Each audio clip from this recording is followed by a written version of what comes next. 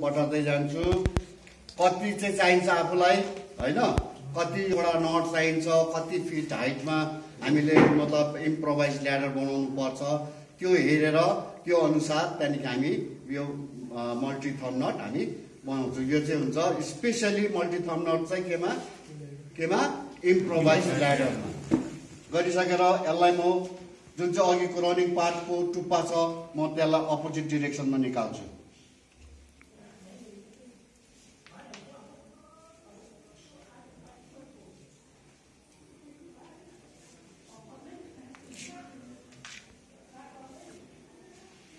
Multi thumb knot multi thumb knot कतिवटा भएछ? यहाँनिर छवटा भएछ। मल्टी थम नट भयो? मल्टी थम नट अब खोल्ने केही पनि छैन। यही रिङलाई फेरि एउटा रिङ ब्याङ्गल जस्तो बनाउने रिङ यी ब्याङ्गल हुँदैछ यहाँनिर हातमा मेरो हातमा होइन? यी खोल्दै जान्छु म यिनै छिटोको लागि है यो चाहिँ। त्यो उस गर्नु चाहिँ होइन नि यो चाहिँ। त्यहाँदेखि यो जुन चाहिँ नट छ ए सरी पार्ट छ। के हो यो? रनिङ पार्ट रनिङ पार्टमा फेरि अघि यताबाट यता ल्याएको थिएँ अब यताबाट उता। तान्नु बित्तिकै।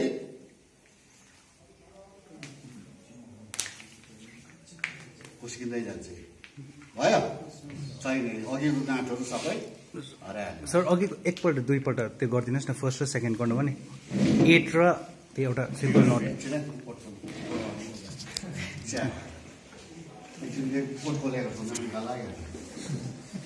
रेकर्डै भनेर छ नि त त्यो बुझ्यो? ह्याप्पै गयो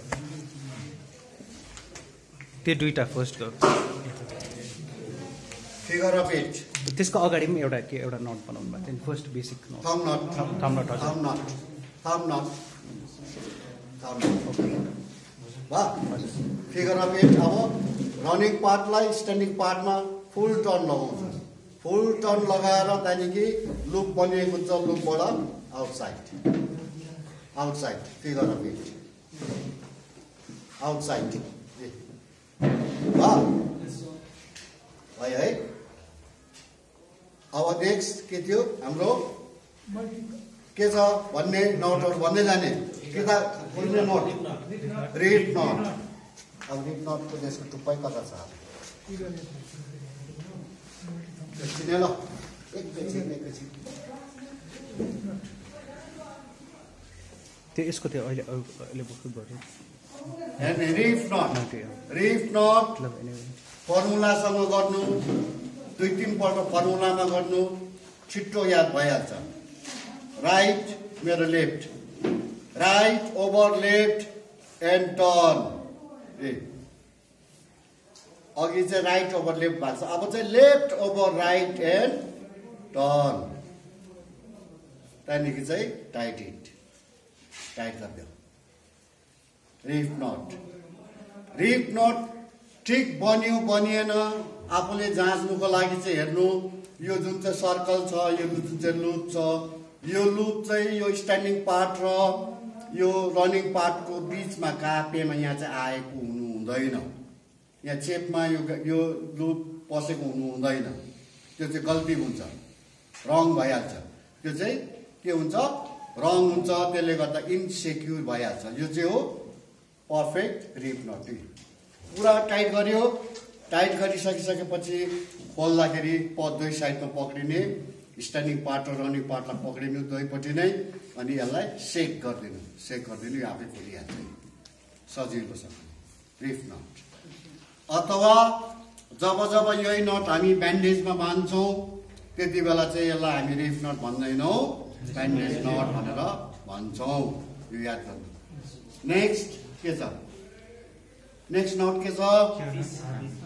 हाफ इज हाफ इज केही पनि छैन यो हाफ इज खालि हो। हाफ इज यो हाफ इज यो नट होइन। फुल नट होइन। किन यसलाई छोड्नु बित्तिकै के हुन्छ? खुस्किन्छ तर अब यो दुइटै हाफ इज यो एउटा यहाँ हाफिज बनाएँ अर्को पनि यहाँनिर हाफिज बनाएँ। यो दुईवटा हाफिज भयो नि होइन? देब्रे हातमा एउटा छ दाहिने हातमा एउटा हाफिज छ। अब यो दुईवटा चाहिँ म लगाएर बिचमा जोडेँ भनेदेखि चाहिँ के हुन्छ दुईवटा हाफिज भयो यहाँनिर। दुईवटा हाफिजलाई चाहिँ म के गर्छु टाइट गरिदिएँ भनेदेखि चाहिँ यो चाहिँ के हुन्छ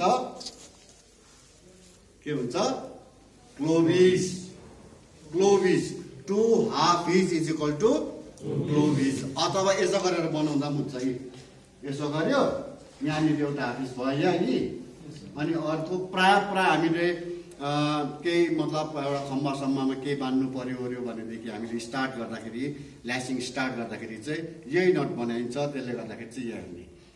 पहिला रनिङ पार्ट स्ट्यान्डिङ पार्टलाई क्रस गर्नुपर्छ। यतापट्टि होइन आउटसाइड होइन। इनसाइड क्रस गर्नुपर्छ। इनसाइड क्रस गरिसकेर यो जुन चाहिँ रनिङ पार्ट छ रनिङ पार्ट फेरि यहाँबाट छिराएर यसलाई टाइट गरिदिनुपर्छ। यो चाहिँ क्लोभिज भयो सुल्किँदैन कता? मुनि माथि यसो यसो पनि सुल्किँदैन। एकपल्ट टाइट भएपछि टाइट भयो भयो यो क्लोभिज भयो next. Chair knot chair knot चाहिँ कुनै दोरीको दोरी सानसानो त्यो त्यो दोरीमा चेयर नट हुँदैन चेयर नट हुन्छ। एक सौ फिट दुई सौ फिट तिन सौ फिट लामो दोरीमा मात्रै हुन्छ। त्यसले गर्दाखेरि त्यो जस्तो अब एक सौ मिटरको दोरीमा बिचमा बनाउनु पर्छ अथवा त्यो डिस्टेन्स माथिबाट झर्ने डिस्टेन्स हेरेर। डिस्टेन्स हेरिवरिकन त्यो बनिनु पर्छ कतिको चाहिँ डिस्टेन्स छ डबल भएर जाँदाखेरि त्यो दोरीले भेट्छ भेट्दैन। या त कति एक्सेस हुन्छ? त्यो हेरेर चाहिँ हामी के गर्छौँ? बिच भागमा गर्छौँ अनि चियर नट बनाउँदाखेरि के गर्छौँ हामी?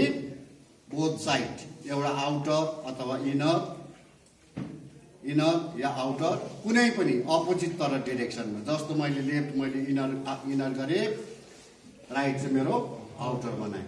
आउटर बनाएपछि यसलाई क्रस गर्नु हुँदैन यहाँनिर। सिधै सिधै आउटरको आउटरै छ इनरको इनरै छ। अब म आउटरलाई इनर तान्छु इनरलाई म आउटर लान्छु।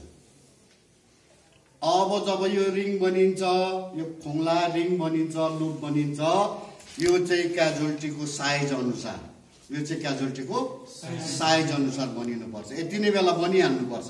अहिले यसलाई सेक्युर गरेपछिदेखि यो फेरि तन्गिँदैन ला उस हुँदैन। त्यसले गर्दा साइज हेरेर यसलाई हामी टाइट गरिसकेपछि यो चियर नट भएको छैन। सेक्युर भएको छैन। त्यसले गर्दाखेरि कुनै पनि एक पार्ट आफ्नो आफ्नो पार्टीको पोर्सनको स्ट्यान्डिङ पार्टलाई के गर्छु म यहाँनिर एउटा हाफिस बनाउँछु। हाफिस बनाएर यो लुप जुन चाहिँ बनिएको छ यसलाई म अब छिडाइदिन्छु। छिडाएर यसलाई म tight both side both side फेरि स्ट्यान्डिङ पार्ट हाफ इन्च लुपलाई छिरायो त्यहाँदेखि टाइट गरिदिन्छु। यो चाहिँ हो चियर नट अब चाहिँ पर्फेक्ट भयो सेक्युर भयो यो अब स्लिप गर्दैन एकैछिन